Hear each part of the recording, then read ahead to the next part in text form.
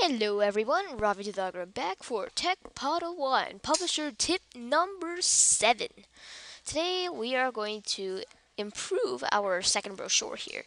Now if you can notice, all of these backgrounds are, well, they're solid and I really want to see you know, the background like I see over here.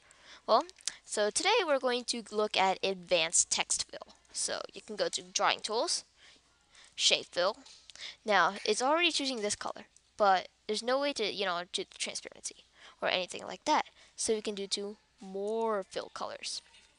And what we can do is we can increase the transparency to 50%. Now, you can see the back. Well, you can do other things like a sample fill color. Let's say you want to match the color of this chrysanthemum. Well, you can do that too. Just make sure the eyedropper tip is on the chrysanthemum, click, and it'll automatically match the color exactly. Isn't that cool? You can even set a picture and a gradient, such as, whoa, whoa. Huh. I like that. Even a texture, such as plaid or marble. But I'm going to keep the one I have right now. Or you can even put a pattern like that.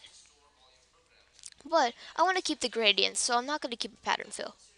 You can do the others too. Select multiple text boxes at the same time.